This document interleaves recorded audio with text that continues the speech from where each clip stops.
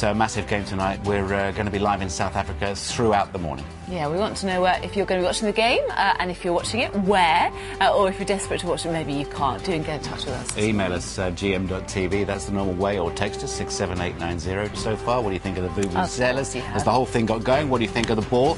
Let's get it going this morning. and what's the score going to be tonight as well? Let us know that one. Uh, let's get the rest of the day's news for you now. What was that? 3 0. Okay, uh, here's Helen.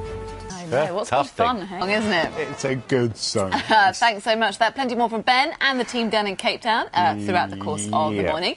And we're going to get the weather. Who uh, Kirsty's in Blackpool for us this morning, which has been voted Britain's best seaside resort. About right too. And they're still playing that one Something song. slightly different, maybe.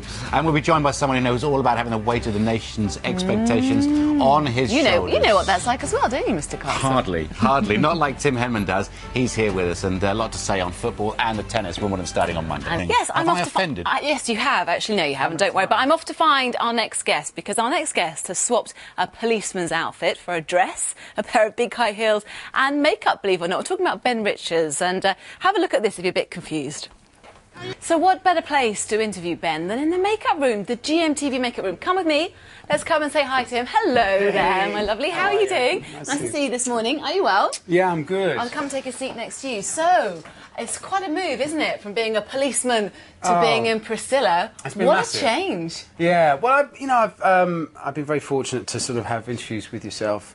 On there, because I know you must spend The hours, foundation. Oh, hours that's in right. makeup We've got, we've got a few bits of um, of liquid. Eyeshadow shade. Is, is it one there you fancy? we can always pop it on you. little I'll be. I'll be, I'll be absolutely honest with you. Um, my glitter everywhere. Yeah, sh- uh, impressed. I'm not sure about that.